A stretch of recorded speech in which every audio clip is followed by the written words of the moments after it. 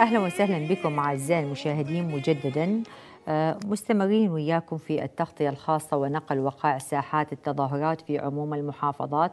ولأول مرة في تاريخ العراق المعاصر نشهد استمرار هكذا تظاهرات مطلبية رافضة للواقع السياسي.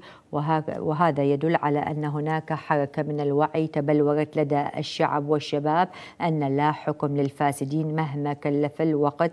التظاهرات بحسب المراقبين والناشطين باقية حتى تحقيق المطالب ومحاسبة كبار الفاسدين ومن أوصل هذا البلد إلى ما عليه الآن. كيف ستخرج الحكومة من هذا المأزق؟ وكيف سترضي الجماهير الغاضبة؟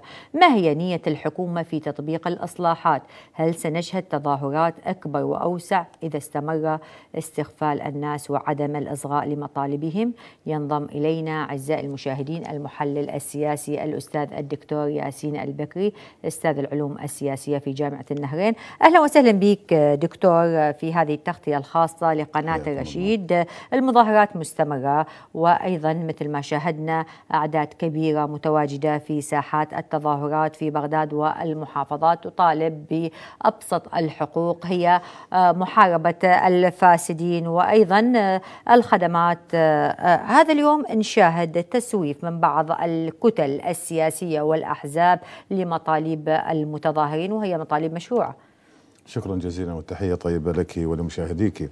أعتقد أنه قضية التظاهرات أصبح واضح جدا أن المواطن العراقي بعد 2003 إلى اليوم صبر أكثر مما هو يعني مطلوب أو ممكن أن يحتمله مواطن، نعرف إحنا الموازنات الضخمة التي دخلت إلى العراق منذ 2003 إلى اليوم مبالغ ضخمة وكبيرة جدا. كان ممكن أن نعم. تحيل الواقع العراقي إلى واقع آخر ثاني. لولا لولا هنا الفساد. الفساد مهم جدا. اللي استنزف ثروة البلد نعم. استنزف كل طاقاته وقدراته استنزف حتى قدرة توظيف هذه الطاقات الشبابية الكبيرة اللي موجودة في العراق. لكن دكتور دكتور آه كلام جميل جدا تحدثت به آه الميزانيات الانفجارية اللي موجودة من 2003 آه إلى 2014 يعني المواطن يريد يسأل هذه الميزانيات الانفجارية وين راحت؟ يعني ما له حصة بها اليوم أغلب المواطنين اللي موجودين في المناطق الغربية في المخيمات وأيضا في مناطق الجنوب يعني في البصرة هي العاصمة الاقتصادية للعراق بسبب إيرادات النفط اللي تأتينا من البصرة. اليوم محافظة البصرة تشكو من عدم يعني إيفاء السياسيين أو وفاء السياسيين لوعودهم لأبناء هذه المحافظة وأيضا المحافظات الجنوبية. أريد نعرف المواطن يعرف وين راحت هذه الميزانيات الانفجارية وإذا نقارن العراق بالدول العالم وأيضا دول المنطقة. النفط أسعاره عالمية وعند نزول النفط أسعار النفط أيضا نزل نزلت في الدول العربية الإمارات السعودية الأردن في جميع دول العالم. لكن ما شاهدنا هذه الأزمة الاقتصادية اللي يمر بها العراق. لا هو أكو فرق يعني. إحنا ما نقدر إنه نقارن وضع العراق مع أي دولة أخرى يعني خصوصا دول الخليج، نعرف إنه دول الخليج البنيه التحتية مكتملة لديها لديها استثمارات في داخل بلدانها وفي البلدان الغربية. بمعنى حتى في مرحلة أو في حالة هبوط أسعار النفط هي استثماراتها الخارجية ممكن أن تعوض الموازنة. ومع ذلك تأثرت. واقع العراق يختلف. واقع العراق أنا قبل قليل قضية أساسية اللي هي الفساد. إحنا الآن من قضيتين منذ 2003 إلى اليوم من قضيتين. هذه القضيتين آه اشتركت في آه مسألة أساسية وهي نخرج جسد الدولة العراقية اللي هي الإرهاب من جانب ووجه الثاني لهذه العملة وهو الفساد. نعم. بمعنى أنه الإرهاب كشكل واضح ومعروف آه إلى إلى آلياته إلى طريقة التفجيرات نعم القتل نعم. لكن الفساد لكن الإشكالية نعم. الكبيرة. نعم خليني اناقشك بنقطة الإرهاب. يعني أيضا تحدث عدد كبير من المختصين وقالوا أنه سبب وجود الإرهاب تحديدا في العراق هو بسبب الخلافات السياسية بسبب دعم دول إقليمية لجهات سياسية داخل العراق. هذا ما أعطى أرض خصبه للإرهاب وتواجد داعش في العراق. ال ال الإرهاب الدعم الخارجي الإقليمي هذا واضح جدا. أيضا يعني يعني أيضا بسبب السياسيين أيضا بسبب بعض الكتل السياسية اللي كانت مدعومة الكتل من دول إقليمية. اليوم نتحدث دكتور بكل صراحة المواطن يريد يسمع متظاهر ومنتفض على كل السياسيين والفاسدين اللي آه، جابوا لنا الخراب والويل وجابوا داعش واضح والإرهاب. جدا واضح جدا واضح جدا أنه العديد من الكتل السياسية اللي بداخل العملية السياسية واللي مشاركة بالحكومة واللي مشاركة في البرلمان لها ارتباطاتها الخارجية. وهذا مو سر ولا مخفي ولا بالأساس الكتل السياسيه تستعر منه أو نعم. تحاول أن تخفيه. نعم في بعض المسائل هي يعني قد تكون غاطسة آه، تحت الجبل الجليدي لكن بشكل عام لا هذا الارتباط واضح جدا. كلنا نعرف إحنا الكتل السياسية اللي موجودة في العراق الدعم الخارجي لها الدعم الإقليمي لها. بالتالي انتقل آه، الصراع الإقليمي اللي موجود آه، يعني تحديدا ما بين عمودين أساسيين في في المنطقة ما بين آه، السعودية وما بين إيران. انتقل إلى الساحة العراقية وأيضا نعم، نعم. تركيا. بمعنى أنه هناك انقسام إقليمي على أساس طائفي سني شيعي تتبنى عدد من من الدول. نعم. أرض العراق كان إلى الساحة. البعض الكتل السياسية العراقية يعني ساهمت بهذا هذا الصراع بشكل مباشر أو بشكل غير مباشر. بالتالي الانقسامات نعم موجوده الفساد موجود الإرهاب موجود.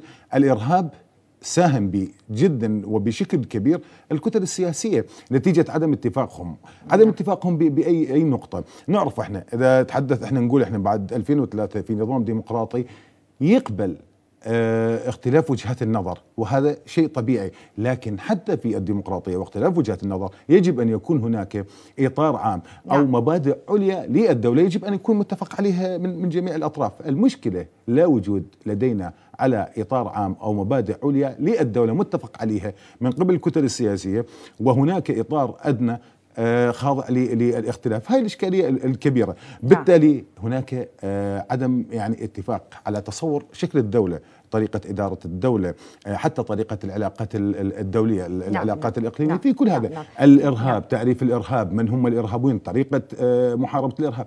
نعم. كل هذه القضايا نعم. مختلف عليها في الواقع السياسي العراقي. لكن دكتور نتحدث بكل صراحة.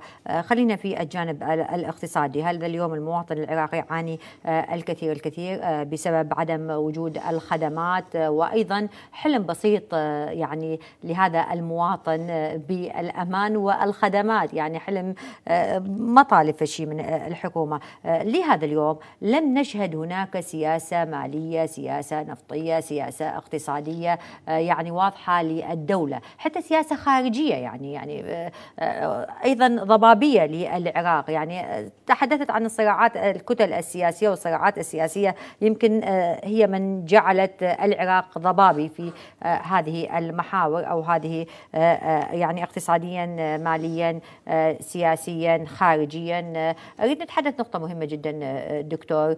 متى يكون هناك سياسة اقتصادية للعراق يعني بتوحيد الجهود السياسية لخدمة هذا المواطن. مشكلة كبيرة أنه العراق خسر أموال كبيرة وطاقات كبيرة كان ممكن يوظفها.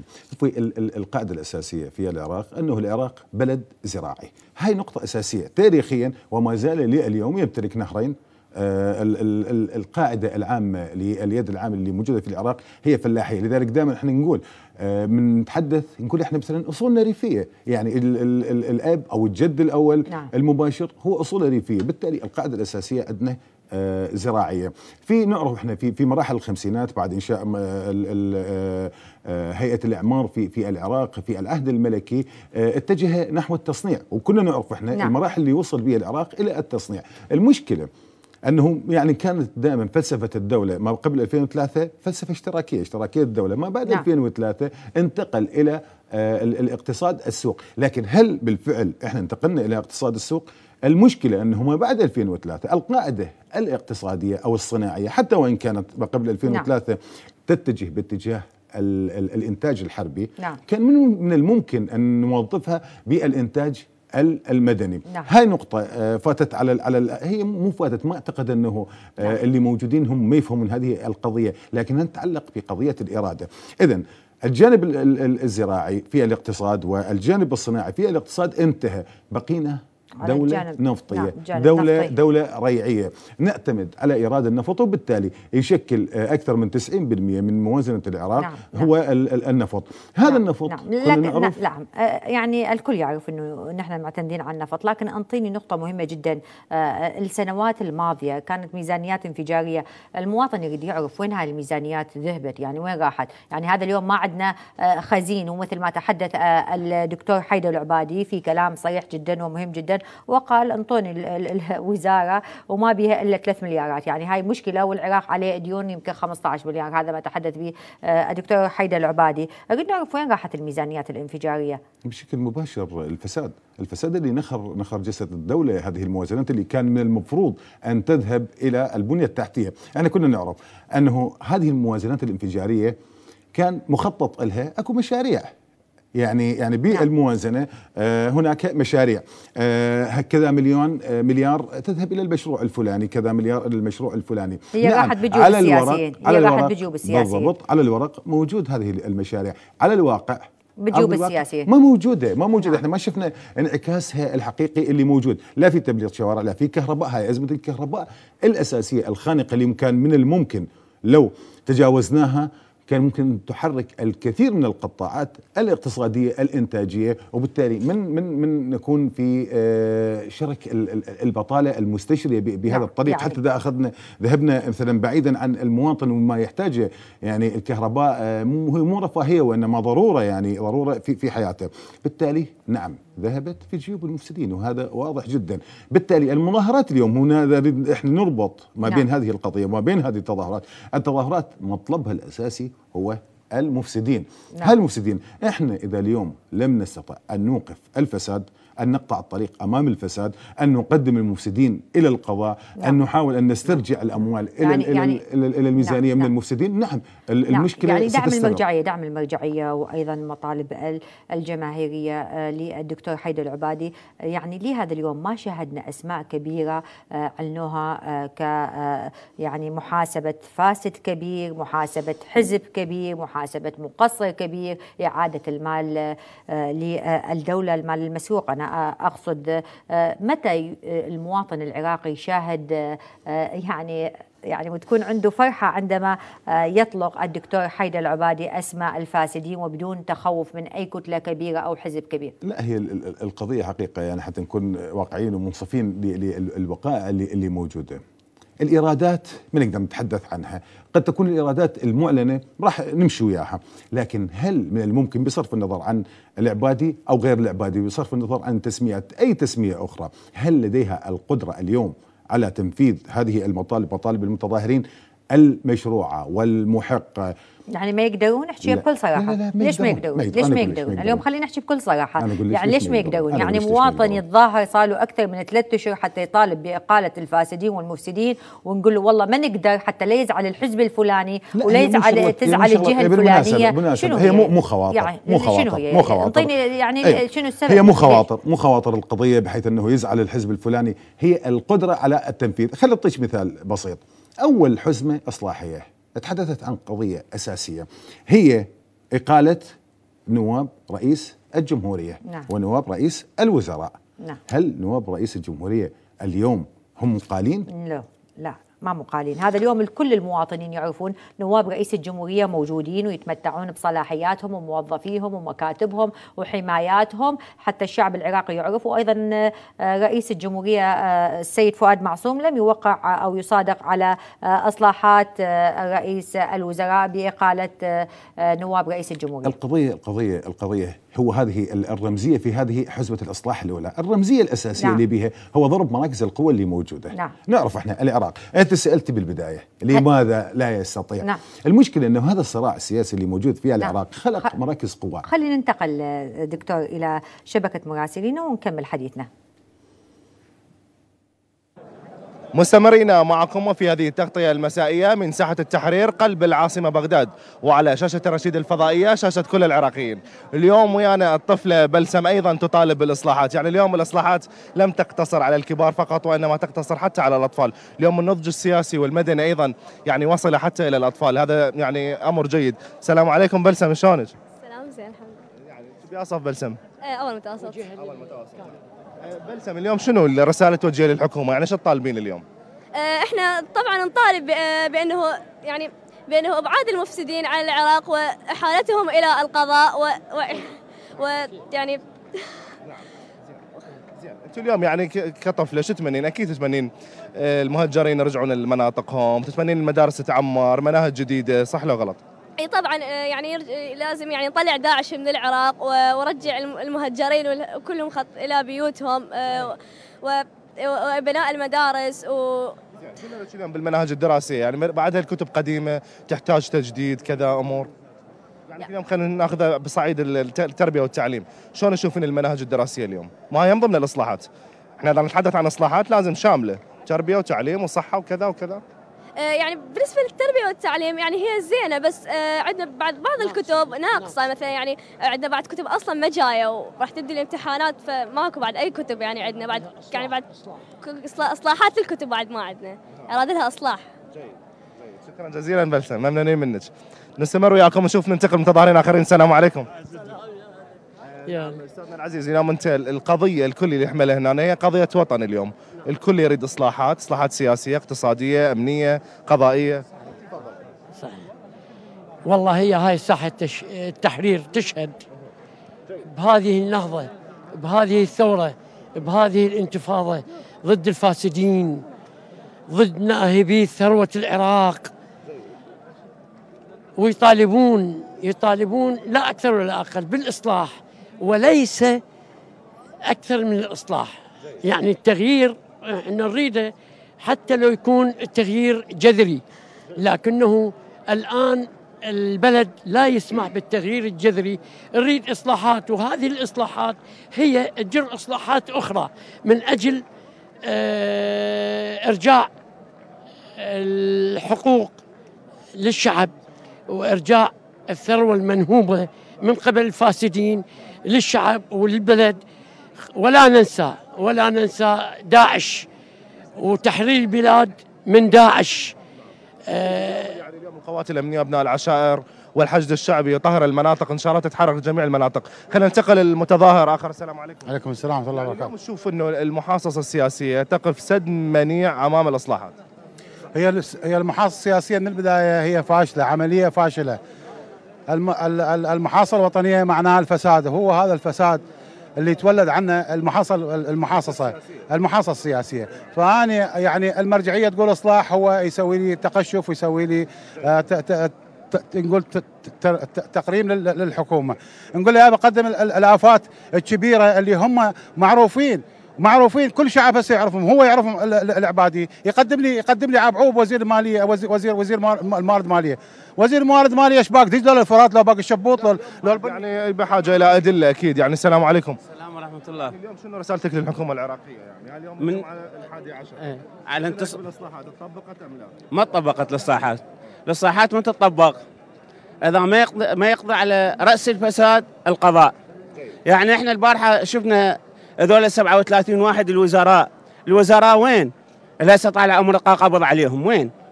هم بالخارج كل واحد عنده جوازين سفر يعني هو بالدولة اللي هسه بيها يقدر يجيبها من الدولة من لندن يجيبها لهنا على سبيل المثال عفتان حازم الشعلان إيش قصر له؟ إيش قصر له حازم الشعلان؟ فلاح السودان إيش قصر له؟ أنت ليش ما تجي على الفساد الموجود هنا؟ هسه الموجودين عندك هنا وعندك اسمائهم، ليش ما تلقى قبض عليهم؟ إحنا عندنا القضاء فاسد. إذا ما يتغير القضاء ما يصير أي اصلاح بهذا البلد. رأس الفساد القضاء. فما يصير عندنا اصلاح شكرا جزيلا. نعم آه، خلينا نشوف المتظاهرة. السلام عليكم بسم الله الرحمن الرحيم. اليوم ثورة سيدنا الحسين ثورة سيد الشهداء. بسم الله الرحمن الرحيم. من 2003 من 2003 تأسست هاي الحكومات. ما شفنا خير. لقد ضاع البلد وضاع الولد وضاع المال. يوميا مسرحية ويوميا فيلم. هؤلاء جالسين تحت خيمة الخضراء. يقولون نحن عراقيون. إذا هم عراقيون خل يتنازلون من الجنسيات الأجنبية. نحن نمتلك الجنسية العراقية واحدة. من أقصى الجنوب إلى أقصى الشمال إلى أقصى الشرق إلى أقصى الغرب جنسية العراقية واحدة. نحن متماسكين. نحن هذا البلد أغنى أغنياء العالم بعزته وشرفه وذاته. ألا يكفيكم ما فعلتوا بالعراق؟ ألا يكفيكم اليوم تجون وتجدون تجدون من خارج الدول ملايين وأنتم كلكم عندكم مليارات نهبتوها. نهبتوها مليارات العراقيين. وين وديتوها؟ شكرا جزيلا. خلينا ننتقل من تظاهر آخر. السلام عليكم. عليكم السلام. اليوم شنو رسالتك؟ والله رسالتي أنا أوجهها للأستاذ الفاضل علي محسن التميمي محافظ بغداد. أقول له يا أستاذ علي يا أستاذ علي أنقذني أنا ناديك نداء استغاثة. أنا من 2000 من 7 7 2013 لحد الآن مقدم على مقابلة جنابهم من 7 7 2013 لحد الآن كل ما أروح لمكتب شؤون المواطنين هاي بعد التواسيل والخضوع لهم وبس عاوزهم ابوس حسن نقول بوجهه الحذاء مالتهم يلا يعطوني قصاصة أدخل بيه مكتب شؤون المواطنين فوق. أريد أقول له أريد المقابلة مالته وينها وأنا جيت بكتاب من محمد محمد صاحب الدراجه من كان وزير الإعمار. وجهني للسيد المحافظ. ومن 2000 من 2013 لحد الآن كل ما راجع يقولوا لي ما بعد بعد إحنا نخبرك أنا نخبرك ما دام ماني شنو يعني؟ اللي أطالبه أنا من السيد علي محسن التميمي ويقول أنا خادم بغداد؟ أنا من بغداد عمي وأنا وضعي تعبان. والله العظيم. أنا هاي رسالتي أوصلها عن طريق قناة الرشيد اللي هي ناطقة باسم الفقراء. باسم الفقراء. هاي قناة البطلة وجزاكم الله. كل العراقيين قناة الرشيد إن شاء الله. نعم خلينا نشوف المواطن آخر. السلام عليكم. عليكم السلام ورحمة الله وبركاته. بارك الله بكم أنتم وكادركم ممنونين من عندكم. هاي دعاء الجمعة ونشكر. أنا شكرت هاي من عندكم. شكرا جزيلا. بارك الله بكم أي إصلاحات حقيقية أو جذرية؟ ما موجودة إصلاحات. ثلاث أشهر راح يكمل. بعد خمسة أيام يصير ثلاث أشهر. هاي الجمعة 11 وكل العراق طلع بها. من بغداد إلى الفاو. أي إصلاحات ماكو مسؤول بالدولة اجى اللي جاي. حيدر العبادي ما اجى اللي جاي. شنو يتخوف من هذا الموضوع؟ أتوقع حتى سماعات سماعات صوتية أم ال battery أخذوها من الأجهزة الأمنية اللي ذاك الأسبوع أريد أوصل رسالة. حيدر العبادي. حيدر العبادي. يا أخي اسمع شعبك. اسمع وطنيتي هذول كلهم دكاترة وأساتذة وشيوخ وأكاديميين ومثقفين ناس جايين للإصلاح خصوصية بهذا وهاي الجمعه لها خصوصية. خصوصية أبو عبد الله الحسين. لأن الإمام الحسين خرج ضد الطغاة لإصلاح أمة رسول الله. ليش؟ بهذا الشهر الشهر محرم. أعضاء مجلس النواب لا يلبسون الأسود. كذابين ما يقتدون بالإمام الحسين. المس... القصور مال صدام قاعدين بيها. هاي سووها مؤسسات صحية. الكوليرا وصل يعني وصلت بالآلاف مؤلفة. دوائر دولة متهيكلة لا صناعة ولا زراعة وكررنا هواي بارك الله بيكم طلعتوا هواي أنتم على ذمه لا زراعة لا صناعة. ناس قاعد يقدون بالشوارع آلاف مهجرين راحوا لأوروبا. يا أخي ما يصير. اطلع على هاي الشاشة الكبيرة. لا ما تريد تجي. لا ما تريد تجي. اطلع على هاي الشاشة الكبيرة مال ساحة التحرير اطلع مباشر. واحكي المتظاهرين دول الناس الوطنيين. اسألني وأنا جاوب شكرا جزيلا. السلام عليكم. شوف متظاهر آخر. السلام. شنو رسالتك حق جينا رسالتي لوزارة التربية اللي هي أم التعيينات. اللي هي أم التعيينات اللي أكثر من عدة أمرار. وزارة الت- التربية تاخذ المجموعة اللي تجيها للتعيينات. يهدون قسم من عندها للرؤوس الكبار والفقراء الباقين. ينطونهم للرؤوس مال الحزب الإسلامي. يوزع لهم الحزب الإسلامي بالقرآن. أكو عوائل ستتهم تعينوا حتى العجوز اللي ما تقرا وتكتب جابوا لها شهادة من من من الجامعة العراقيه اليوم كل العراقيين يطلعون تظاهرات من أجل القضاء على المحاصصة. من نريد يم الوزير. ودا حتى نبين له من هو اللي تعين ومن هو موجود بهاي الوزارة. هاي المحمودية وهاي اللطيفية وهاي هنا هنا البياع. فيزياء كيمياء معلمين مدرسين كلهم على بقائهم ويجاسمونها بيناتهم هسه طلعت 220 آه، متعين. عينوه شوف التعيينات ما لا جاي يعينون على المعدل ولا جاي يعينون جاي يعينون على الحصص وخاصة هو الحزب الإسلامي. ونشكر من قناة ال- الرشيد أدامكم الله ونشكركم. اليوم الكل يتمنى القضاء على المحاصصة السياسية وهذه المحاصصة اللي حقيقة يعني أثرت على المؤسسات على التعيينات. اليوم إن شاء الله جميع رسائل المواطنين توصل للمسؤولين إن شاء الله. خلينا نشوف مسؤول آخر أو نشوف مواطن آخر. السلام عليكم. أهلا وسهلا. طبعا نشكر فضائيتكم طبعا اللي ويانا صار لها حوالي آه، 11 جمعة. فاني اللي اقوله هذا الرجل العبادي ما يقدم أي شيء. اولا هو إنسان دبلوماسي ومتربي تربية بريطانية وهوي وهويته بريطانية. فهذا إنسان دبلوماسي. ما قدم لنا شيء كلها قضايا ترقيعية. يعني إذا أراد يدخل التاريخ من اوسع بابه ويكون آه، شخص عظيم مثل عبد الكريم قاسم اللي قدم قضايا تعرفوها كلكم. فالمفروض يتجه إلى المتظاهرين ويسوي حزبه حزب المتظاهرين. لأن هو 13 سنة كل شيء ما قدموا. البنى التحتية كلها كلها مفلشه لا زراعة لا صناعة. هذا يعني ال- الإنسان العادي خليه يستقرأ.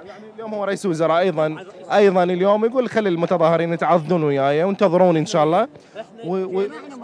استاذي إحنا جينا للإصلاح. إحنا مو ب... مو مثل ب- بعض الدول اللي حاربت الدكتاتورية وغيرت النظام. إحنا لا إحنا تجاوزنا هاي المرحلة. إحنا نريد نصلح نظام. يا عبادي هاي الجوقه اللي عندك. انسلخ من عندها لأن جوقه ناس حرامية سراق. آه، 13 سنة نفس الوجوه الكالحة ما قدمت أي شيء. الطفل والكبير وال آه، هذا يعرف شنو هم. يعني حتى أصوات ما حصلوا وصعدوهم. فهؤلاء ما يقدمون أي شيء. فإحنا نبقى نتظاهر أو نتظاهر أو نتظاهر. وحتى إذا بقينا ثلاثة أربعة بساعة التحرير إحنا رسالتنا نوصلها. فيا العبادي يا دكتور ادخل التاريخ من أبوابه حتى تكون يشهد لك التاريخ والتاريخ يشهد للعظماء. فصير واحد عظيم إذا تنحيت عن الجماعة الجوقة هذه الخائنة الجوقة الحرامية اللي فلشت العراق. والسلام عليكم. شاهد الدكتور آه، الناس اللي تتظاهر بساحة التحرير أكيد عندهم مطالب يعني مطالب منطقية واقعية. آه، ناس تطالب بحرقة قلب. يعني أتمنى أنه الدكتور حيدر العبادي يسمع مطالب أو طلبات المواطنين. يعني ما أعرف شو أحكي بعد. يعني آلام آه، وحزن يعني اللي يريد يتعين واللي يريد الصحة واللي يريد الخدمات. واليوم السياسيين كلهم ملتهيين بالمواكب وملتهيين بالمجالس العزاء. قبل ما تسوون مجالس عزاء الشعب اللي انتخبكم وقعدكم على الكراسي عليكم إنه تخدموه. عليكم إنه تخدموه. تفضل دكتور. يعني إذا تلاحظين آه، نقطة أساسية في مطالب ال- المواطن العراقي بالفعل هي بسيطة و- ومحقة يدور تعيين بمعنى أنه هذا اقتصاده حياته حياة عائلته نعم. شلون يقدر إنه نعم يرتب لا. يقول لك التعيين صار به فساد حتى التعيين به فساد صار به محاصصه مو صار به فساد. وص- وصار لازم تكون أنت منتمي لحزب ومنتمي لجهه حتى تحصل على التعيين يعني ست- ست آه ست يعني. بلد ضاع كل. شيء به من التعيينات المواطن التعيينات أكو أحد بالعراق بعد ما يعرف أنه هو مو صار هو هو أصلا موجود التعيينات كل وزير يجي يعين مجموعته يعين حزبة ال- تكون التعيينات إلى إلى إلى الحزب شوف إحنا تأخرنا نعم. في اقرار إقرار مجلس الخدمة الاتحادية ما نقول إنه مجلس الخدمة الاتحادية راح نقضي على باب الفساد نعم. بشكل كامل لكن أنظر مما بهذه الطريقة يريد تعيين يريد هذا حياته يعني هذا اليوم كل وزارة تابعة الحزب هي وزارة الحزب يعني وزارة. متعينين آه، وزارة الحزب. الأشخاص من نفس الحزب ومن نفس الكتلة وزارة ولهذا الحزب. في تشكيل الحكومة تسعى الأحزاب الكبيرة على الوزارات السيادية والوزارات الكبيرة حتى تقدر تعين أكبر عدد من أحزابها مو جمهورها. لا الجمهور ما تعينوه. تعينون أحزابكم وأيضا ناسكم داخل الحزب. روح شوفي أي أي أي وزارة. أي وزارة. الحلقة ال- ال- القريبة من من الوزير. يطلع وزير يجي وزير تتغير كلها يجيب ال- فإذا هذا هذا فساد. هذا هذا فساد. هذا طبعاً باب فساد. من أبواب طبعا الفساد. فساد. تعرفين ال- ال- ال- مسألة التعيينات؟ إيش قد صارت ال- ال- التعيين؟ مواطن فقير خريج جامعة حتى لو مو خريج جامعة من حقه أنه يلقي له فرصة عمل يطلبون منه وصلت أسعار. أكو هناك قائمة. تعرفين بهاي القضية نعم. لا لا؟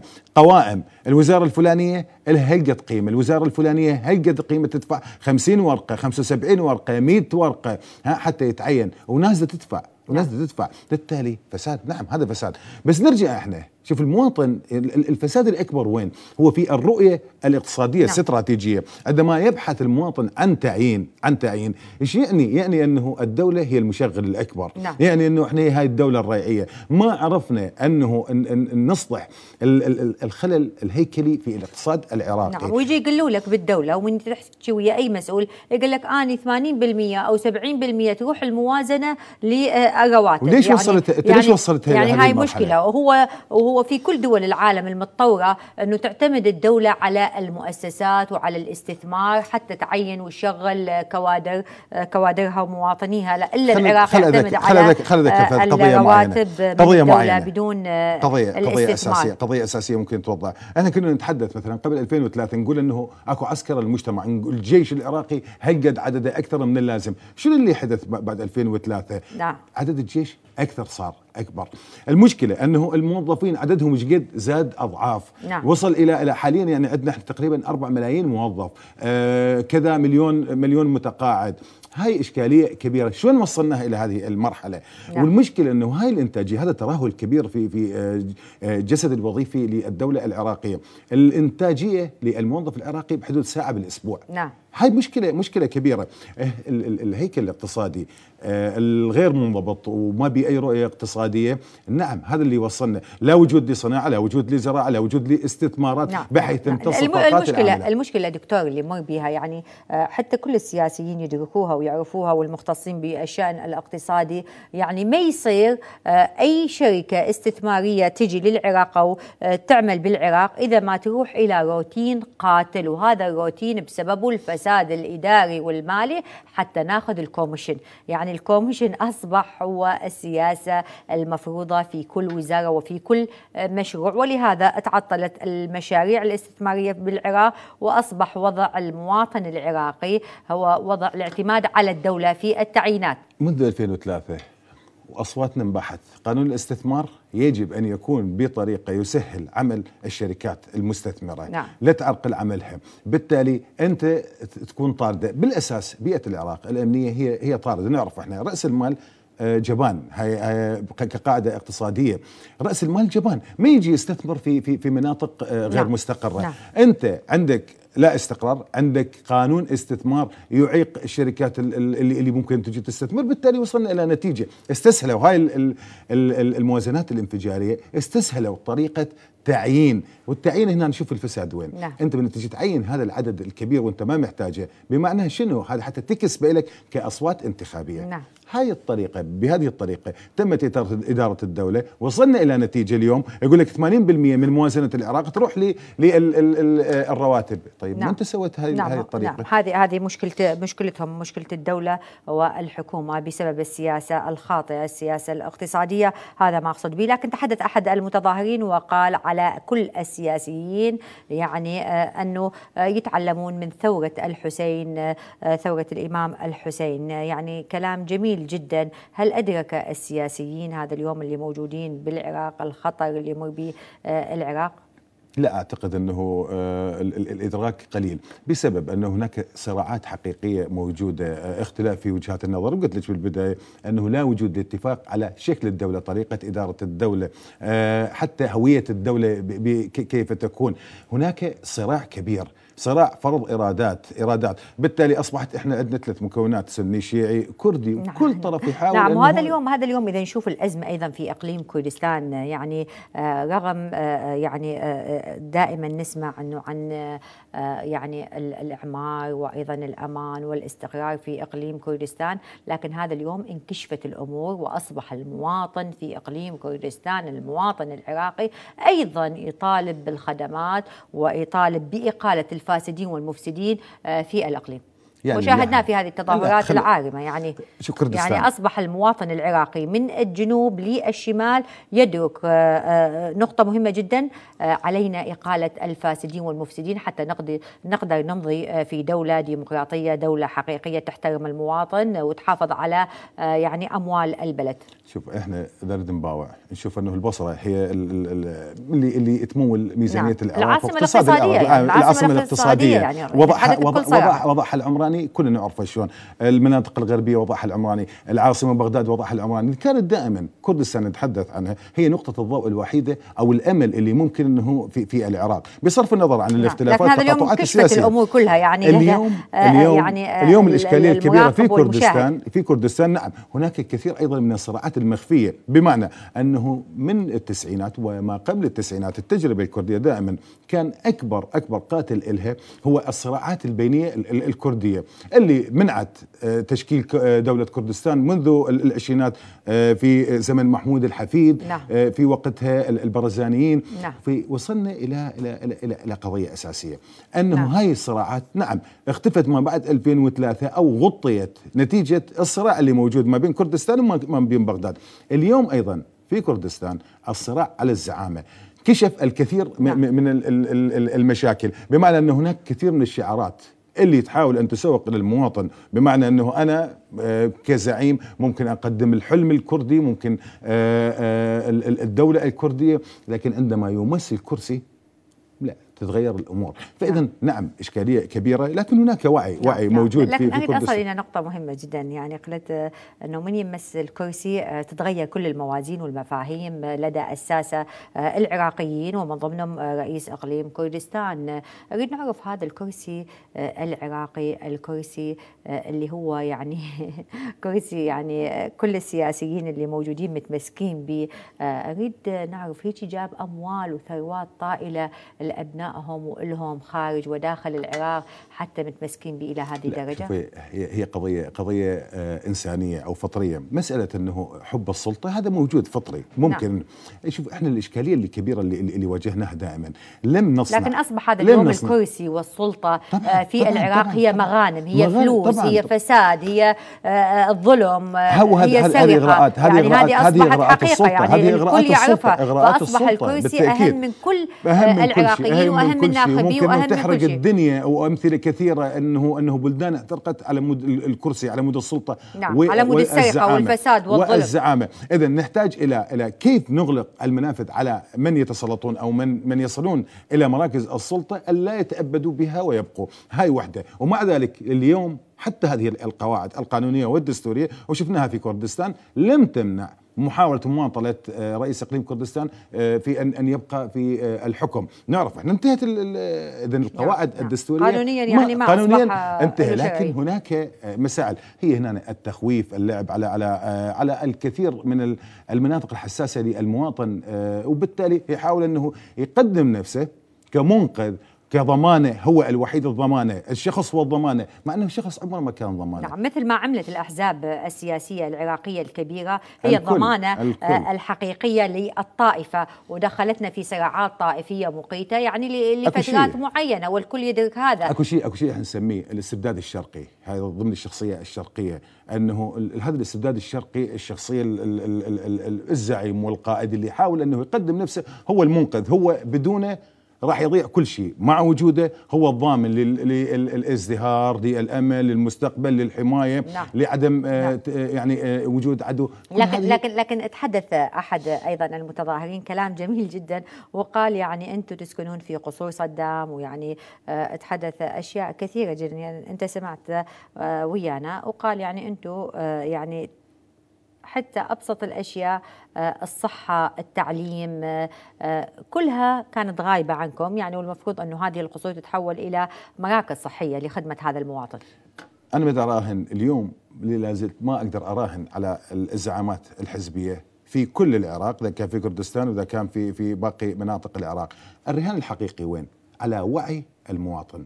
وعي المواطن هو هنا نريد نربط إحنا إحنا نعم. بيئة هذا اليوم. أصبح المواطن لديه وعي آه، كامل لا، وكبير مو- بس- مو وعي كامل، حتى- حتى- نعم. حتى لا لا لا التظاهرات. اللي موجودة هذا اليوم في الجنوب وفي الشمال وفي آه، آه، يعني بغداد يعني أصبح للمواطن العراقي وعي كامل وكبير يعني في لا، المناطق حتى- الجنوبية حتى- أمان يعني لا لكن المواطن من طلع وتظاهر وطالب بإقالة الفاسدين والمفسدين يعني وأيضا مجالس المحافظة في هذه المحافظات أكيد أصبح للمواطن وعي حتى نكون واصرار مفرطين في ودعم. آه، للحكومه التفاعل. لإقالة آه، المفسدين والفاسدين. حتى نكون مفرطين بالتفاؤل نعم هناك خطوات باتجاه يعني تشكيل أو بناء وعي جمعي عراقي، لكن وصلنا إحنا للوعي؟ لا ما نزلنا الوعي. نتيجه أيضا لظروف قاهرة أكبر من المواطن، أكبر من قدرته على الوعي، هناك ظروف يعني مسألة إنه هي هاي لعبة المكون ولعبة التخويف هاي تقلل ال- ال- الوعي بشكل كبير، بمعنى إنه الإنسان بالدرجة الأولى يريد الأمن، من يجي الطرف حزب معين. يقول لك أنه أنت مهدد من المكون الفلاني. نعم. بعد ما يطالبك ما يريد يطالبك نعم. لا بخدمات يخليك تفسد يخليك إنه تنهب الدولة المهم إنه مقدم نفسه متى كحامل نتخلص من هذه. الأحزاب الفاسدة؟ يعني لا، نحن ما نتحدث عن الكل لكن أكو بعض الأحزاب الفاسدة وخلي أوضح نقطة للمواطن والمشاهد العراقي، نحن مو ضد نائب رئيس الجمهورية ولا ضد نائب رئيس الوزراء وحتى لو الدكتور حيدر العبادي أقال نواب رئيس الجمهورية مو شيء يعني كبير جدا لسبب واحد إنه آه، يعني ما يشكلون ميزانية كلش كبيرة، لكن حبينا إنه هذه الحركة أو هذا التصريح الكبير من الدكتور حيدر العبادي إنه كسر حاجز الخوف. نحن كمواطن شعرنا الدكتور حيدر العبادي كسر حاجز الخوف بإقالة نواب رئيس آه، الجمهورية. آه، لكن باقين هم آه، بالعافية عليهم المناصب وأيضا آه، المخصصات والامتيازات ونحن مو ضدكم لكن نتمنى إنه الكل تلتزم بالإصلاحات حتى يمضي الدكتور حيدر العبادي باصلاحاته الحقيقية. أيضا نواب رئيس الوزراء معترضين يعني عندهم اعتراضات كبيرة حول إقالتهم من منصبهم. آه، نشوف يعني ودائما نتابع إنه السياسي أصبح يدور على المنصب وعلى الكرسي. يعني قبل ما يدور على خدمة أبناء منطقته وأيضا خدمة العراق نتمنى أنه تتخلصون من كراسيكم وأحزابكم ويكون وطنكم العراق كافي بعد ملينا هو هو, هو لا يعني بأس. دكتور هو- هو ملينا. يعني. ملينا كافي. هاي ثلاث. شهور الناس تتظاهر بأس. وكل شيء لا. بأس لا بأس ما إحنا قلنا إحنا اكو أكو مسائل فطرية يعني هي بال- بالإنسان لا بأس هو يريد يتمتع بهاي ال- القضايا بس أنت في مقابلها يعني خليه. يتمتع نحن ما. عندنا مشكلة معه أدي خدمة. يعني بالعافية عليكم تمتعوا أنتم وجهالكم كل السياسيين أنتم وجهالكم وعوائلكم تمتعوا لكن تمتعوا طعم الناس. مو تتمتع أنت والناس نايمين بالعراء الناس نايمين ببزيبز الناس نايمين بالمخيمات. الناس ما عندهم ماي حلو بالبصرة يشربوه. مو هو قاعد يتمتع وأولاده تتمتع بلندن وأمريكا وأوروبا والناس ما عندها مكان. والناس غرقت اليوم بالبحر حتى تصل لاجئ في دول. أوروبا. هذا الفساد هذا الفساد اللي موجود هو منع خدمة للمواطن وبنفس الوقت ساهم في إدخال الإرهاب، ساهم في إسقاط محافظات كاملة في العراق، لولا هذا الفساد اللي موجود في الدولة لا ما, ما- كان ممكن أنطيني نقطة. أمل، أنطيني نقطة ضوء، اليوم المواطن يريد يعرف آه، أكو نقطة أمل، أكو نقطة ضوء في محاربة موجود. الفاسدين دائماً المفسدين،. دائماً- هل دائماً هناك موجود. تكاتف جهود كبيرة من الكتل السياسية حتى لا، لا، نقدر لا. نخلص من الفاسدين والمفسدين؟ هل نقدر نعيد العراق آه، الجميل ع- عراق بغداد ألف ليلة وليلة آه، إلى وضعه دائماً- الطبيعي آه، أكو نقطة أمل بتكاتف دائما أكو نقطة وأيضا أمل. جهود دائماً الخيرين؟ اكو نقطة أمل دائما أكو نقطة أمل دائما ممكن أنه ي- يكون تغيير لكن هناك هسه عندنا مسارين.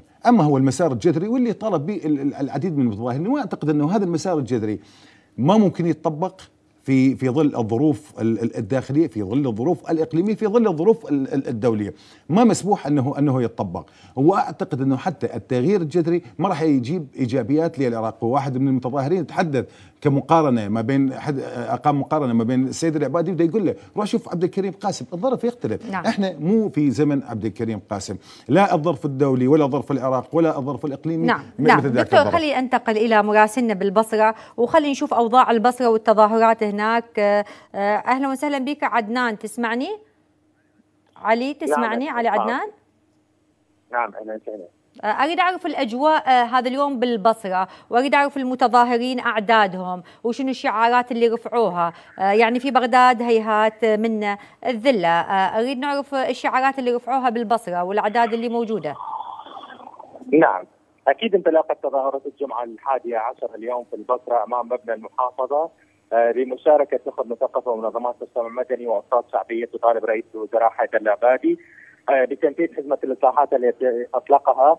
وأيضا هناك هتافات تندد باقاله المحافظ و25 منصب من مدير عام مضى على خدمتهم أربع سنوات آه، ينتمون لأحزاب سياسية. نعم آه، علي آه، تحدث لي عن اللافتات اللي رفعت في ساحة آه، في ساحة التظاهرات في البصرة. نعم أيضا هناك هتافات رفعت من قبل منظمي التظاهرات تطالب اولا بتأهيل المصانع المتوقفة في البصرة وتحسين منظومة التيار الكهربائي حيث شهدت أغلب مناطق البصرة آه، آه، يعني آه، أكيد هذا اليومين أجواء حارة بالإضافة إلى توفير فرص عمل من الشركات النفطية في البصرة. وعلى رأسها معالجة مشكلة ملوحة المياه التي أثرت على الحياة اليومية وسببت أمراض كثيرة وأيضا أثرت على الزراعة.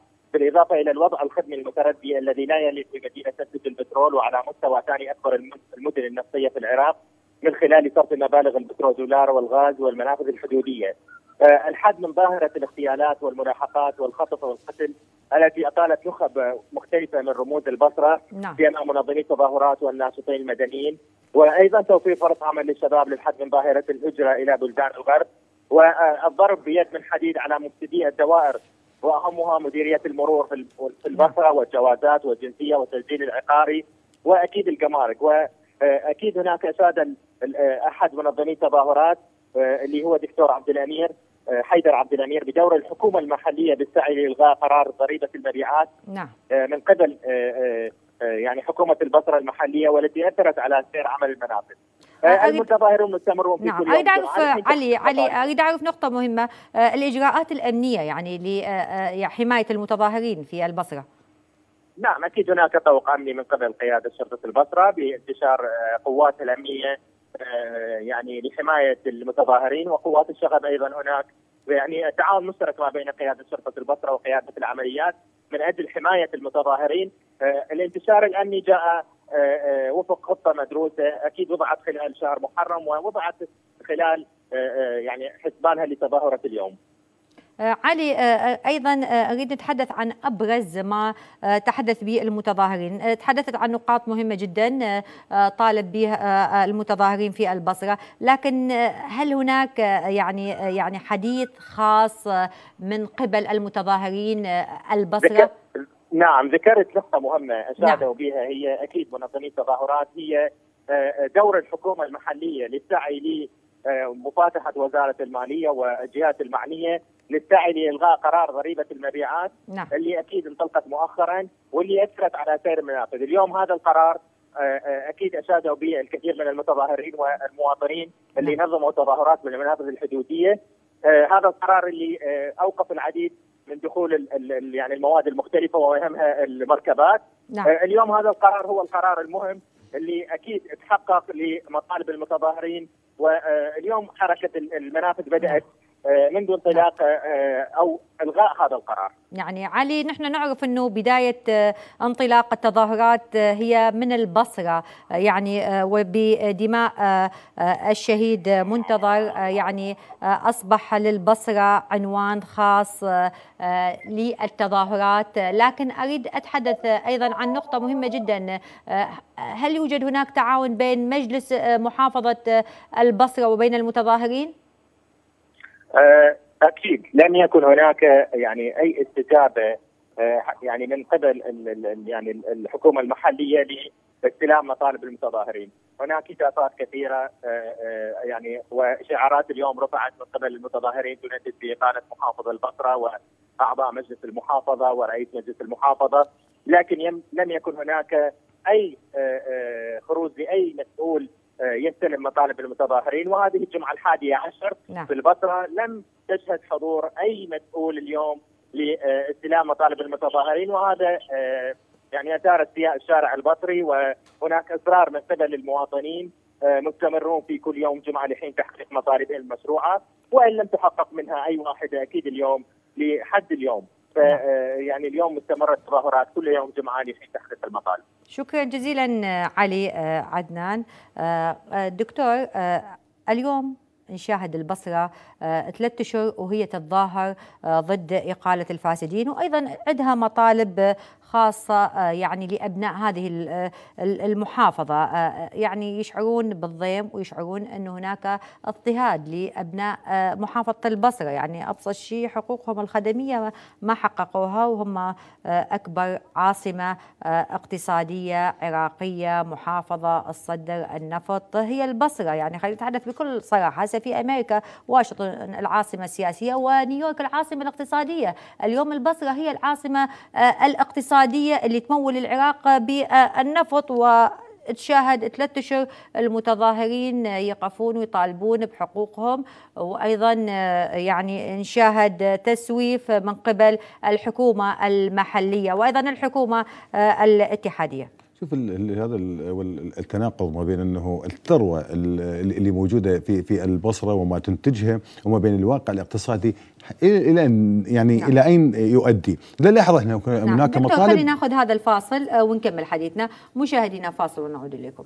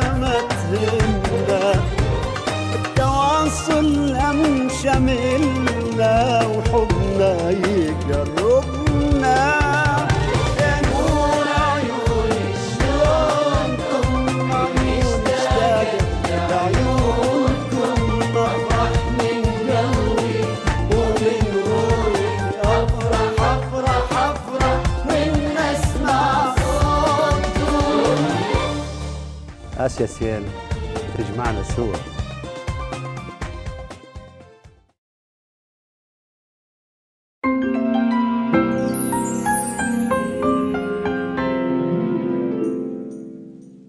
بدك تكون عضو بالبرلمان. من اللي خلاك تروح تصير وزير؟ على إيش؟ شنو؟ شنو على أساس شنو؟ أنا انتخبتك عرفت؟ بقتونا باسم الدين بقتونا باسم الدين.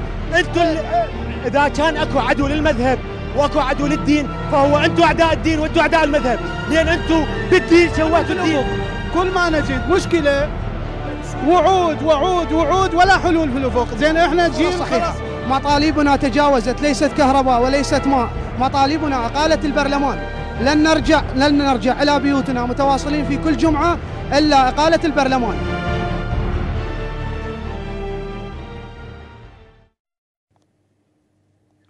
أهلا وسهلا بكم مشاهدينا ومستمرين هذا اليوم بالتغطية للتظاهرات في جميع محافظات العراق. دكتور الشعارات اللي نرفعها شعارات جميلة جدا بكتونا باسم الدين هيهات من الذلة.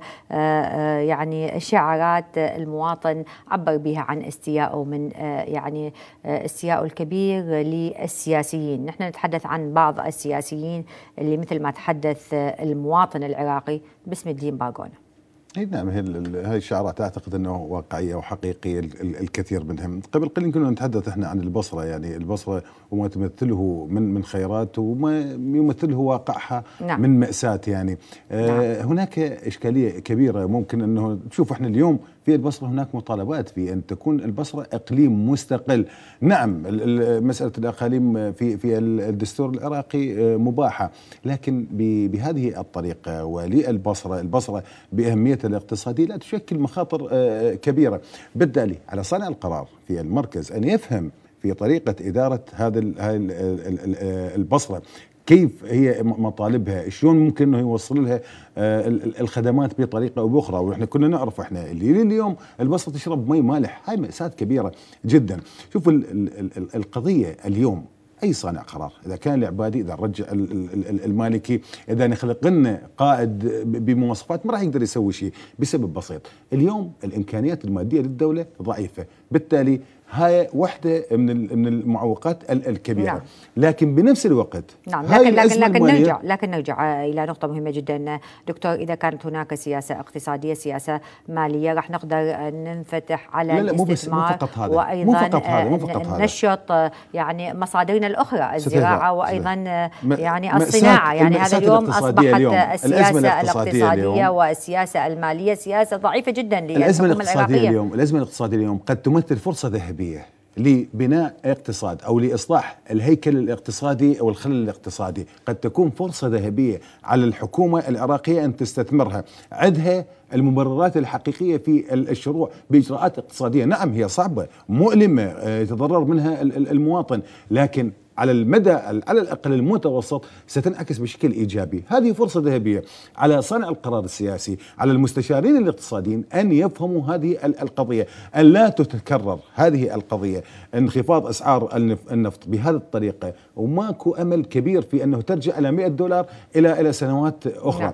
بالتالي نعم, اليوم ممكن أن نبدأ نقطة الشروع. النفط وصل 160 دولار أي. اليوم ما ما, نعرف ما, وين ما راح يوصل. هذا ما راح يوصل إلى المية. الميزانيات يعني يعني هاي. الدراسات دراسات تقول إنه ما راح يوصل. لن يعاد يعود سعر آه يعني برميل النفط إلى 100 دولار. بالتالي هاي فرصة ذهبية. في اعاده بناء آه ال- الهيكل الاقتصادي بطريقة ممكن أن نكون منتجين. المشكلة إحنا إحنا المشكلة الشعب العراقي نتيجة لهذه السياسة ال- ال- الاقتصادية. إحنا مجرد مستهلكين ما عندنا إنتاج. ماكو شعب. نعم. 30 مليون ما- ما بي يعني صحيح هو مو ذنب المواطن نعم. هاي يجب الخطا نفهم الخطأ من. يتحمله. اللي تحمله طبعا الحكومات الحكومات المتعاقبة. نعم. اللي وصلت الحكومات هي مرحم الكتل السياسية الكبيرة. أكيد. ولهذا أكيد. يعني آه، تتحمل الكتل السياسية أكيد. الكبيرة. الكل يتحملون آه، المسؤولية. هذا الانهيار الاقتصادي آه، في العراق. لكن دكتور نتحدث عن الشعارات اللي رفعها المتظاهرين في جميع أنحاء العراق آه، شعارات واقعية ومنطقية وشعارات يعني آه، البعض من يقراها يشوفها هي شعارات تمس آه، يعني السياسي بشكل مباشر يعني وتعبر عن هموم المواطن. تحدث لي عن المواطن العراقي اللي أصبح هذا اليوم قوة وورقة ضغط يعني كبيرة يعني عند السياسيين. هل أصبح أو أصبحت الكتل السياسية أه، اليوم تتخوف من آه، هذه التظاهرات الكبيرة آه، هذه التظاهرات اللي مستمرة ثلاثة أشهر والمت- والمتظاهرين مصرين وواقفين وأيضا ما يقبلون يستسلمون آه، إلا التحقيق مطالبهم المشروعة. التظاهرات الأولى لو كنا نلاحظ جميع السياسيين بسلطاتهم المختلفة إذا كانت السلطة التنفيذية وإذا كانت السلطة التنفيذية ال- ال- التشريعية الجميع وقفوا حالة استعداد للمواطن العراقي لهذه التظاهرات. خوفا من نعم. التظاهرات خوفا لكن بعدين ما شفنا شيء. يعني شفنا بعدين يعني بعدين ما شفنا اي السلطة اي تحاول اي السلطة يعني تحاول السلطة على أرض الواقع يعني السلطة تحاول يعني. حكي. تلتف خصوصا انه أنه حزمة الإصلاحات أو مطالب المتظاهرين على الأقل ستمس مصالح العديد من القوى السياسية الكتل السياسية الموجودة. لن تسمح ب نعم هي خوفا من من التظاهرات الأولى آه ردة فعلها كان واضح جدا. هذا هذا الخوف به لكن بعدها لا حاولت تلتف حاولت بعض القوى السياسية أن تخترق ال- ال- التظاهرات حاولت أنه أنه تهدد ال- ال- البعض حاولت أنه تغري البعض بحيث أنه هذه التظاهرات لن تبقى بزخمها. اليوم اليوم يعني المواطن حتى لو مواطن واحد يتظاهر حتى لو لا، لا، مواطن واحد، واحد حتى لو مواطن واحد على الحكومة وعلى الدكتور حيدر العبادي على الدكتور سليم الجمهوري على رئيس الجمهورية أن يسمع هذا المواطن وهي المشكلة يعني هذا؟ حق مشروع يعني. غيروا لنا النظام 36 المشكلة- سنة المشكلة وين؟ وجابوا لنا الديمقراطية وهاليوم نتظاهر وكل شيء ماكو ما معقولة المشكلة وين؟ واحد من المتظاهرين أو المراسلكم أعتقد في في البصرة تحدث عن قضية أساسية إنه ماكو أحد اجى استلم مطالب. نعم. هي مو قضية إنه يستلم مطالب المطالب ممكن ان توصل عن طريق الإعلام.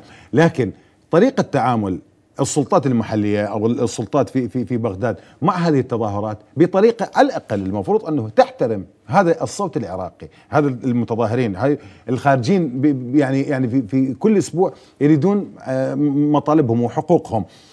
أعتقد أنه طريقة التعامل لا أخذت جانب نوعا ما بعد أن خفت زخم التظاهرات لا ال- السياسيين بدأوا يستسهلوها لذلك لذلك نعم. إذا ردنا أن نخلق وعي أو نجبر ماكو خلق وعي عند السياسيين. السياسي ب- بمصالحه السياسيه. اذا اردنا ان نخلق ضغط يجب أن تستمر هذه التظاهرات ويجب أن يزيد زخم هذه التظاهرات. بمعنى إحنا مو انتهى فصل الصيف وراح ندخل فصل الشتاء وانتهت أزمة الكهرباء أو خفت على الأقل في شهرين قادمين تنتهي ال- ال- التظاهرات. إذا انتهت ما راح نترجى خير. القضية الأساسية نقطة الضوء اللي قبل قليل والأمل اللي قلت عليه حضرتك الأمل وين يتحدث؟ أنه هذه التظاهرات ممكن أن تخلق الوعي وبالتالي تفرز نعم. طبقة سياسية جديدة. ممكن أن تزيح هذه الطبقة السياسية مو إزاحة بثورة ونشمرها لا بس هو انتقال طبيعي تفرز آه، طبقة سياسية جديدة ممكن أن يكون لها دور مستقبلي في إعادة ترتيب البيت العراقي بالشكل اللي يخدم ال- المواطن. هذه ال- الرهان الحقيقي اللي ممكن انه أنه نسير به. أما أنه ال- التظاهرات تقل تخف لا تاكدي أنه ال- ال- الطبقة السياسية لن تحقق أي إصلاح لأنه هي مستفيدة من وضعها بشكل أو بآخر أو على الأقل جزء كبير من من هذه ال- ال- الكتل السياسية مستفيدة من وضعها ما تريد أنه تغير هذا الوضع؟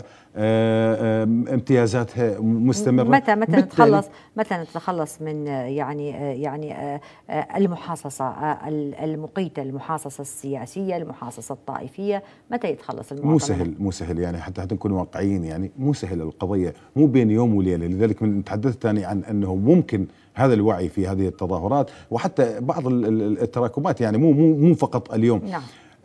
ممكن تخلق أو تفرز لنا طبقة سياسية جديدة، هذه الطبقة السياسية الجديدة هي على عاتقها أنه تزيل هذه ال- ال- المحاصصة، أما أن نتامل من الطبقة السياسية الحالية أنه غدا تأتينا وتقول انتهت المحاصصة نعم. ماكو شيء اسمه بعد محاصصة نعم. ماكو شيء اسمه إحنا نتعامل أنت من من مكون آه، سني وأنت من مكون شيعي وأنت من مكون نعم كردي وكثير من الكتل السياسية هذا اليوم زعلانة على الدكتور حيدر العبادي ال- ال- الكتل السياسية نعم. الحاليه لم تفعل نعم. هذه كثير من الكتل السياسية زعلانه على الدكتور حيدر العبادي لأن يقولون المحاصصة اللي جينا بيها المحاصصة السياسية ما يصير تتجاوزها وإذا تتجاوزها يعني أنت آه، هدمت العملية السياسية وهذه المشكلة اللي دائما آه، يعني يعني المشكلة اللي دائما آه، المواطن العراقي يعني يشعر بظلم منها. يعني يا تكون أنت تابع لجهة سياسية حتى تكون ضمن المحاصصة لهذا الحزب ولهذه الجهة وتقدر تحصل على حقوقك أو آه، كل شيء أصبح محاصصة.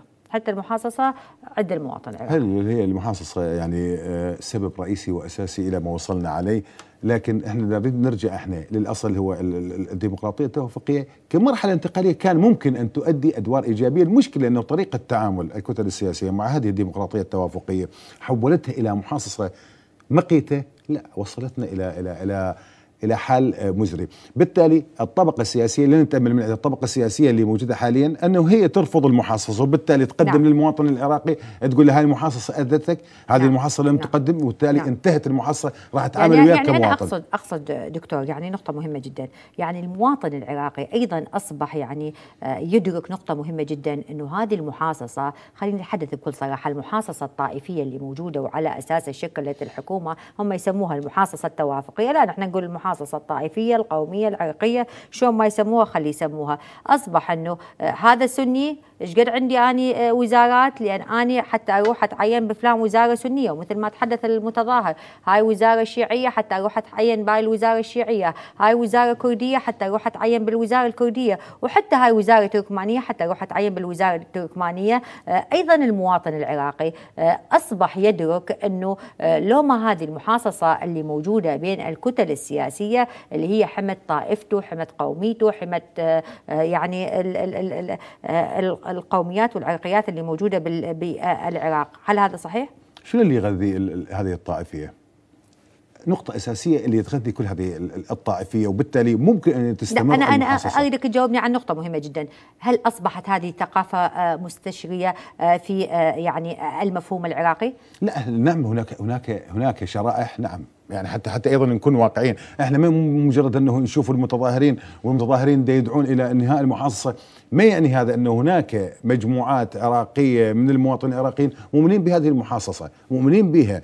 نعم لذلك نعم. ارجع هذا. ما نتحدث من- فيه يعني ما الذي ولهذا؟ في الانتخابات يعني نشاهد نفس الوجوه ونفس نفس الكتل تعاد، ون- نفس- كلها تنعاد وتطلع لماذا؟ آه، في آه، القوائم ويفوزون بالانتخابات الأساسي هو لماذا من يغذي هذه الطائفية من يغذي هذه المحاصصة هي عملية اللا استقرار عندما يكون الوضع غير مستقر المواطن مهدد في حياته في أمنه نعم يلجأ إلى إلى الطائفة إلى القبيلة إلى إلى إلى إلى زعيم آه، معين إلى الحزب. محاوله إي محاولة للحماية مو فقط إنه الكسب لا حتى في مسألة الحماية. لذلك عندما أو إذا أردنا ان نخرج من هذه القضية نحتاج إلى فترة نسبية من الاستقرار.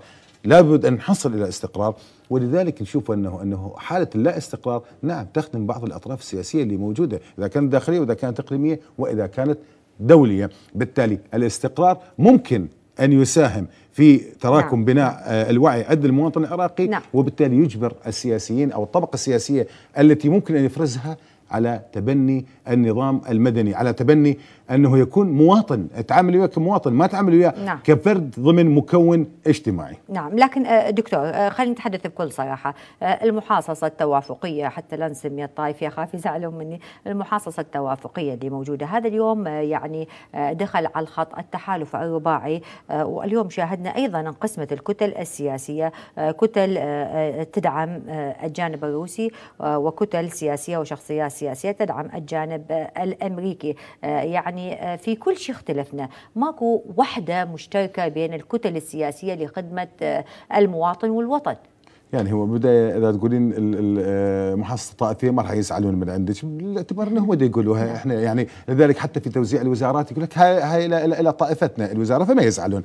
قضية التحالف ال- ال- الرباعي هذه قضية حالها حال آلاف القضايا اللي موجودة منذ نعم. 2003 إلى اليوم اللي لابد أن يكون عليها أنه الانقسام واختلاف في نعم، الرأي نعم. خلينا نكون واقعيين في مسألة ال- ال- التحالف الرباعي المكون السني أو قاده المكون السني لن يقبلوا نعم. بشكل مطلق على تحالف تكون به ايران نعم مثل ما أنه المكون الشيعي لن يقبل على تحالف تحالف لن يكون يعني ب مثلا تركيا أو السعودية. نعم. هذه قضية ولذلك يعني آه، بدء حديثنا قلت لك أنه لا وجود لقيم أو مبادئ عليا للدولة متفق عليها ها، بالتالي هاي بناء الدولة هذا المتفق عليه. ما موجود. في كل النقاط في كل الجزئيات في كل المفاصل أكو اختلاف وجهات نظر بين الجميع.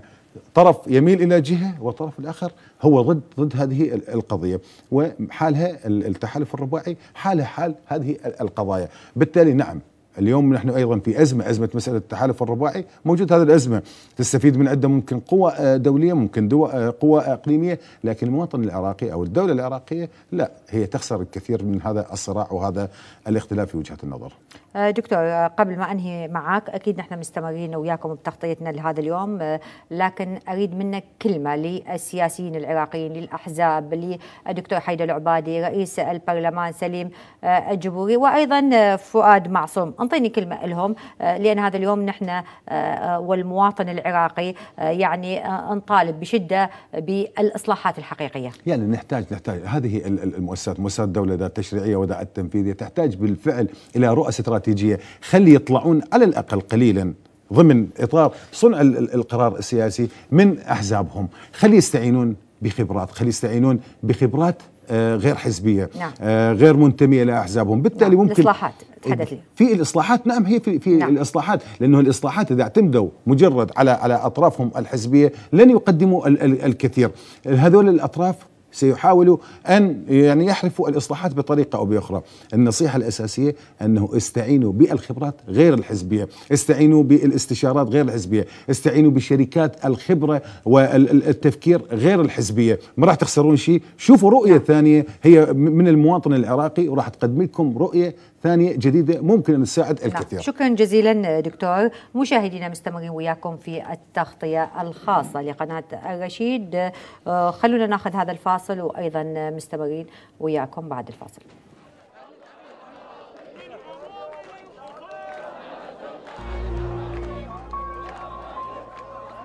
موطني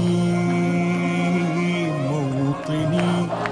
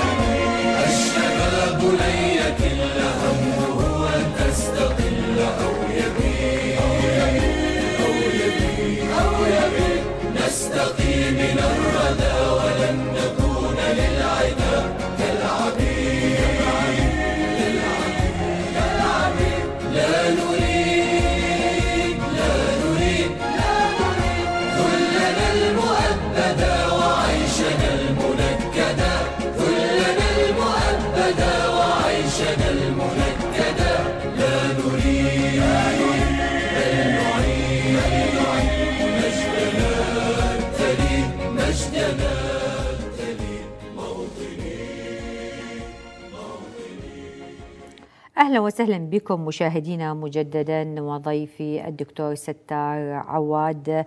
أهلا وسهلا بك دكتور والتظاهرات مستمره ثلاث اشهر وأنتم متواجدين في ساحة التحرير. آه، طالبون مطالب شرعية بإقالة الفاسدين والمفسدين. أريد أعرف هذا اليوم شنو كانت مطالبكم؟ آه، مرحبا بك ومرحبا بالمشاهدين الكرام. هذه الجمعة يعني صار ثلاثة أشهر المتظاهرون يخرجون إلى ساحات التحرير لن يثنيهم أي آه، تصريح ولم تثنيهم أي آه، بيانات خطابية تحاول تهدئتهم دون فعل آه، يعني دون أي فعل حقيقي وأي دون أي نية حقيقية لإصلاح المنظومة السياسية والمنظومة الإدارية في الدولة. استمرار التظاهرات لا يعني أن المتظاهرين ممكن أن يعني يملون أو يكلون من الخروج إلى ساحات التحرير في جميع المحافظات. لكن استمرار التظاهرات يعطي رسالة إلى أن يعني هاي الطغمة السياسية والحكام السياسيين لا يستطيعون تحريك الساكن. هم نعم. كما قال العبادي لا لا نستطيع أن نحرك ساكن لوجود معارضة حقيقية من هذه الإصلاحات.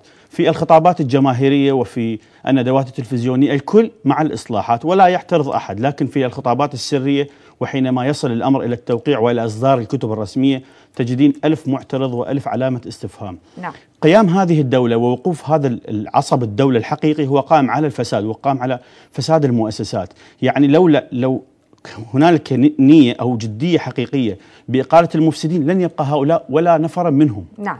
لأن الكل متورط في في ملفات فساد أحزاب كبيرة تمتلك شركات وتمتلك آه، مصارف وتمتلك بنوك كبيرة متورطة في غسيل الأموال وفي آه، فساد وحتى التلاعب بقوت الشعب العراقي. نعم لكن دكتور آه، هذا اليوم آه، يعني آه، شاهدنا المظاهرات نخبوية يعني إعلاميين مثقفين فنانين متواجدين في ساحة التحرير ورفعوا شعارات مهمة جدا هي هيهات من الذلة أريد نتحدث عن هذه الشعارات باسم نعم. الدين باقونا الحرامية يعني كلا كلا للفاسدين نعم. شعارات جميلة جدا يعني هل هناك آذان صاغية لهذه الشعارات من نعم. قبل هو، آه، الحكومة من آه، قبل موضوع- آه، مجلس النواب العراقي. نعم. تفاعل المتظاهرين والتنسيقيات الموجودة في بغداد وفي المحافظات في اختيار شعارات تتناسب مع المناسبة الحالية وهي شهر محرم وذكرى ثورة الحسين عليه السلام.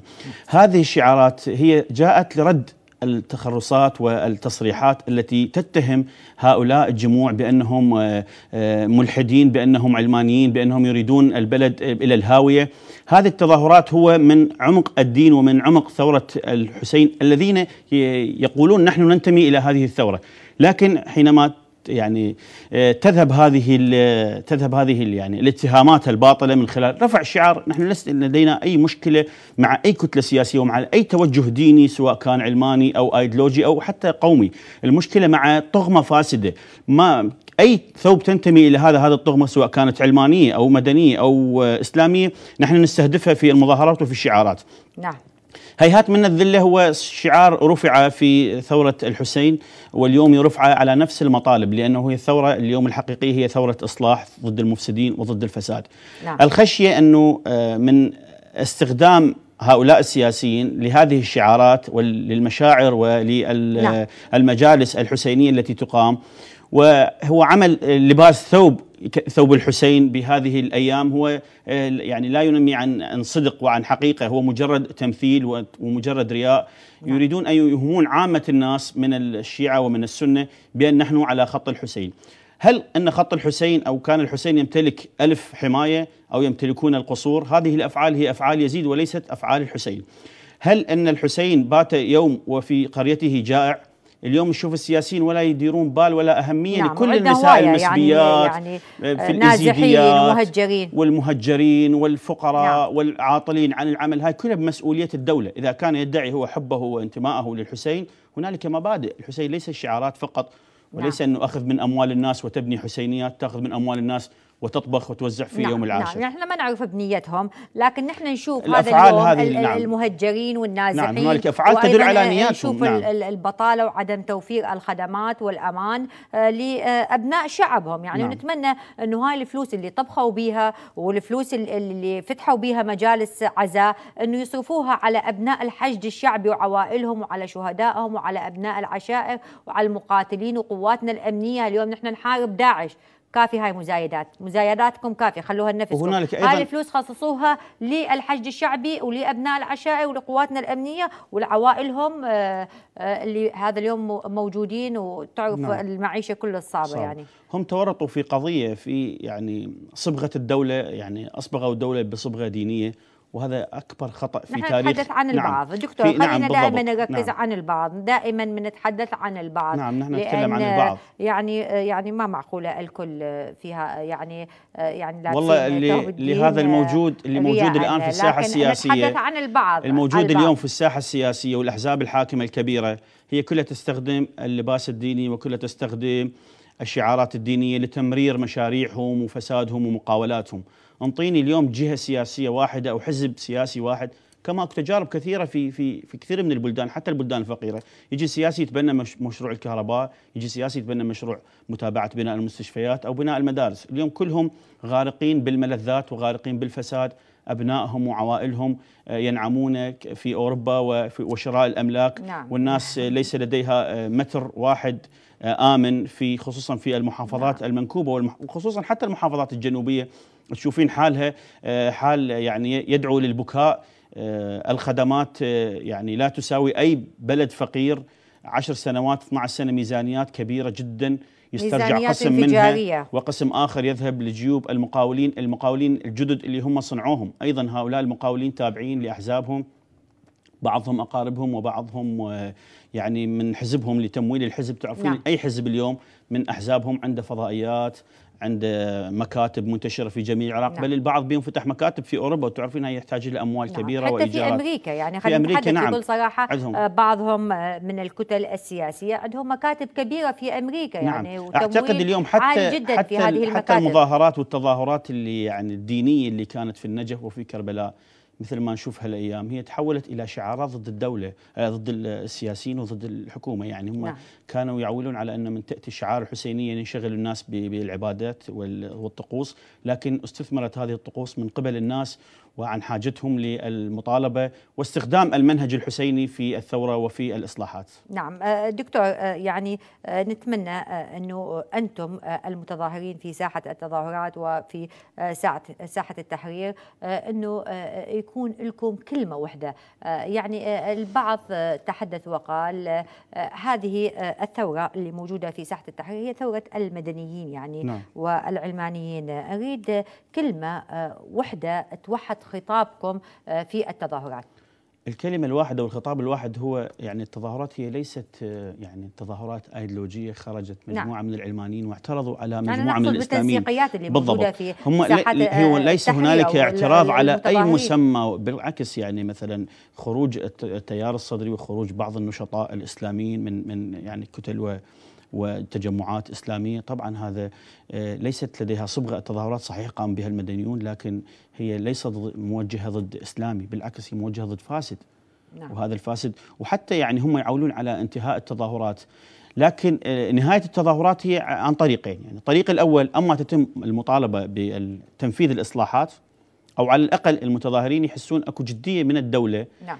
لكن لكن الدكتور حيدر العبادي يعني يعني يعني انت صورة واضحة وجدية آه، في آه، آه، الإصلاحات وتنفيذ هذه الإصلاحات اللي أطلقها. يعني أعتقد أنه لا حيدر العبادي ولا هذه الكتل الموجودة مثل ما ذكرت لك أنه عصب بقائهم هو الفساد والطائفية والمحاصصة، لن يستطيع أحد منهم أن يتخلى عن وزارته ولا يستطيع أحد منهم أن يعني يتخلى عن نائب فاسد أو وزير فاسد، تشوفين اليوم إذا كتلة لديها وزير فاسد تحاول بشتى الوسائل وحتى تخرج عن الوسائل الأخلاقية ربما تبعث ناس تغلق هذه الفضائية وناس تقتل هذا المراسل الذي يعمل تحقيق لكشف ملفات الفساد، إحنا في وضع خطير التظاهرات ستستمر.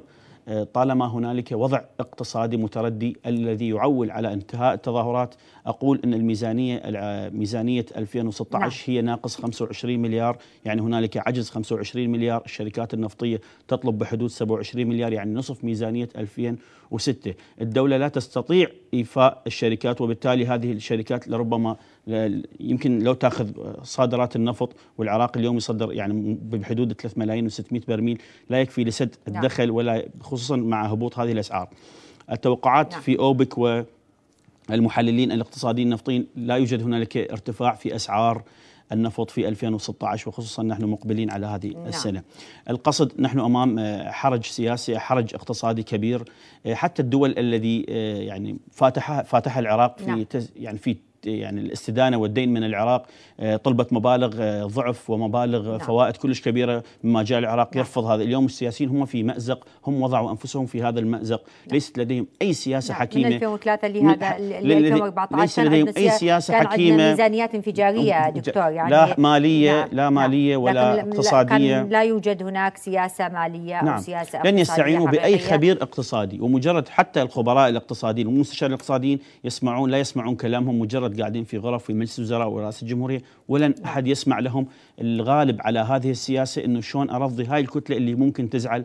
أعطيها كثير من المشاريع أعطيها وزارة مهمة أعطيها التخطيط أعطيها المالية أعطيها الق- النفط حتى ترضي آه، جمهورها. وهذا مثل ما ذكرت وذكر الضيف إنه أزمة التعيينات اللي صارت نعم أزمة حقيقية موجودة وما أعتقد العراق في هذه السنة خصوصا في سنة 2000 الميزانية التشغيلية لا توجد ميزانية يعني ميزانية نعم. تشغيلية يعني يضاف عليها عدد موظفين لن يستطيع العراق بعد يعدد عدد من الموظفين. ممكن راح يعتمدون وحتى اللي يجي الوزير دائما يعين الحاشية الكبيرة مالته وتشوفين هسه الوزارات صارت عبارة عن أقارب أو عن يعني أعضاء للأحزاب. دكتور آه، يعني آه، نتمنى إنه آه، الحكومة العراقية مجلس النواب ينظر بجديه لطلبات المتظاهرين يعني طلبات واقعية حقيقية. الكل هذا اليوم يرفض الفاسدين والمفسدين. الكل هذا اليوم يطلب الخدمات والأمان. آه، آه، لكن آه، يعني آه، البعض آه، يعتقد إنه آه، الدكتور حيدر العبادي آه، يعني في موقف محرج جدا بسبب ما تحدثت عنه الأزمة المالية الأزمة آه، الاقتصادية. آه، يعني آه، منا أنتم تطالبون بالإصلاحات والخدمات. آه، وأيضا من هنا آه، من الجهة الثانية أيضا الرجل واقع في مشكلة كبيرة هي نعم. آه، الوضع الاقتصادي والمالي يعني اللي به العراق وهو تحدث بكل صراحة. نعم ح- السيد حيدر العبادي لا يستطيع يعني ينفك من قيود الحزب اولا. هنالك اجتماعات شبه يومية للضغط على حيدر العبادي بعدم تطبيق الإصلاحات من داخل دولة القانون نعم. نعم. ومن داخل حزب الدعوة لكن الكل لكن- الكل آه، رفع آه، لافته آه، لا للفساد لا للمفسدين هذا شعارات، الكل رفع هذه شعارات. لافته أيضا من حزب نعم. الدعوة ودولة نعم. القانون ومجلس والفضيلة تطبيق. وأيضا اتحاد القوى السني والأكراد لا للفساد ولا للمفسدين لكن أكو نقطة نعرف تحول اريد نعرف آه، نقطة مهمة جدا إذا الكل رفع هذه اللافته لا للفساد ولا للمفسدين آه، لعد منو الفاسد منو المفسد. يعني شلون نقدر نحاسب آه، آه، حزب أو كتلة أو شخص سياسي كبير والكل يدرك ويقول في الإعلام لا للفساد ولا للمفسدين. يعني هو حتى الفاسد يعني والكتلة السياسية الفاسدة لا تستطيع الاستمرار في الفساد، هنالك انشقاقات كبيرة داخل الأحزاب بينها، طبعا هو أساسها اولا أيضا الفساد والصراع على المصالح نعم. والصراع على. النفوذ، يعني ما حصل في كردستان هو أيضا صراع على المكاسب وصراع على النفوذ من داخل. الكتله الواحده ربما نعم. ستظهر من داخل الحزب الواحد ستكون هناك اختلافات كبيرة جدا، هذا بسبب الفساد الاداري اللي يسري حتى نعم. في داخل الأحزاب، كذلك في التحالف الوطني. كلها جاي تعيش صراعات داخلية بسبب إنه ماكو نظام سياسي ولا نظام إداري، هم لا يؤمنون أصلا بالديمقراطية، آمنوا بالديمقراطية التي أوصلتهم إلى الكراسي وإلى المناصب، نعم. ومن وصلوا هذه المناصب كل من تبنى مجموعة من المقاولين والفاسدين، قبل يومين طلع مذكرات إلقاء القبض على مجموعة من من ضمنهم أمين بغداد و وزراء الكهرباء و- طبعا آه، هذا يعني هذه القضية هي آه، حقيقة آه، السياسي يعرف بنفسه قبل شهر إنه راح يطلعون عليه ألقاء القبض. نعم. يعني مثل نعيم عباب لا أعتقد إنه موجود بالعراق حتى يتم إلقاء القبض ومثل ما تم إلقاء القبض أو على صابر العيساوي وطلع بكفالة. يعني شوف الم- المسؤولين عن الفساد الكبير اللي حصل في أمانة بغداد يحكم لمدة سنة وهسه طل براء القاضي. اتهموا عبوب وهم راح يطلع القاضي لأن ذولا يتبنوهم يعني عبعوب ليس عبعوب بمفرده ولا العيساوي نعم. صابر العيساوي نعم، هو صار- بشكل طبعا عام. هذا هذا عبارة. عن عن يعني يخت- يختبئ وراء كتلة سياسية كبيرة تستفيد منه آه، نعم. يعني استفادة أموال كبيرة لتمويل مشاريعها وأجنداتها الحزبية. حتى المحافظين اليوم اللي هم مسؤولين عن كثير من تردي الخدمات وتردي ال- الواقع الصحي والخدمي وانتشار الأمراض لا تس لا يستطيع الحزب تغييرهم ولا يستطيع تستطيع الدولة استبدالهم نعم. لأن هم تابعين لأشخاص يدرون عليهم بالأموال دكتور- والمشاريع. دكتور ستار آه راح أختم آه وياك لكن آه أريد منك كلمة آه للدكتور حيدر العبادي لرئيس البرلمان آه دكتور سليم الجبوري وأيضا لأعضاء مجلس النواب وأيضا لحكومتنا الموقرة. يعني النصيحة لا تنفع مع هؤلاء أصلا يعني لا هم أريد ليس كلمة. لديهم اليوم أريد هم, أمل هم ليس اليوم أريد أمل هم ليس لديهم أي- أمل حتى آه، آه، ننطي نعم. أمل للمواطن الأمل- للمتظاهر إنه الناس- أكو هناك الأمل- امل في تحقيق هذه المطالب. الأمل سيبقى معلق في الجماهير وفي خروج الجماهير في المظاهرات لا يعتقد لا الدكتور حيدر العبادي ولا سليم الجبوري أن الشعب ساكت عن هذه القضية سيلاحق كل المفسدين وهذا العراق وسجل سجل القتل والسحل في عند السياسيين معروف. وحتى قبل نعم. ب 2003 شفنا إنه ما حصل لرموز النظام من سحل وقتل وتهجير وسجن.